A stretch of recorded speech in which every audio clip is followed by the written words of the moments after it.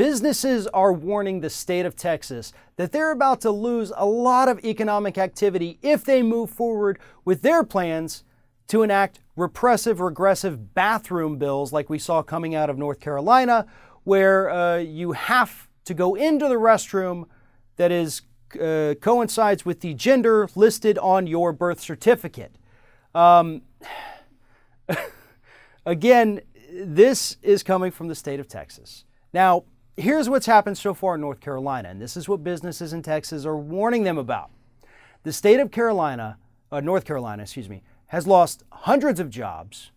They have lost the economic revenue from uh, uh, several different massive sporting events that have pulled out of the state, which would have brought hundreds of thousands of dollars in economic revenue into the state. And overall, these bathroom bills in North Carolina have been a net negative for the economy and for the job market. And yes, as these people have told us, it is 100% because of these transphobic, homophobic, bigoted laws that North Carolina has passed. So the state of Texas wants to copy that.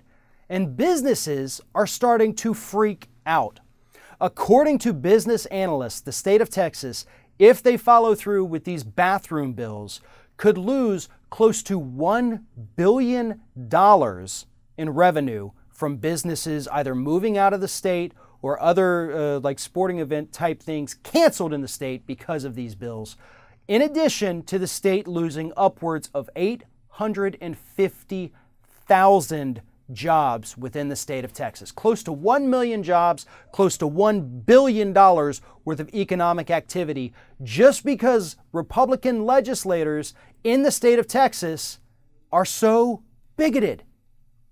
These bills are nothing but transphobia at its worst. In, fact, the logic that they use to defend these, like, well, would you want uh, uh, a, a, man in the restroom with your little daughter? What if he rapes her?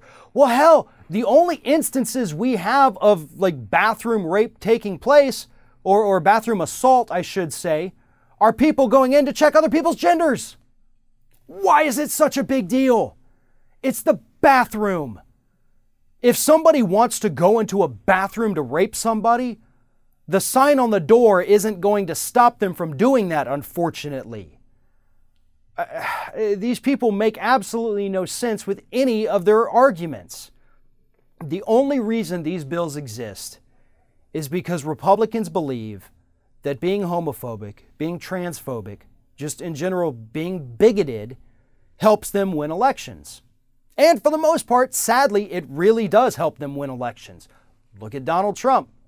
Look at the state of Texas. Look at North Carolina.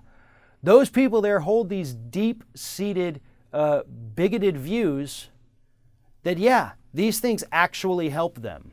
Meanwhile, the rest of the country that's actually living in the 21st century finds them appalling.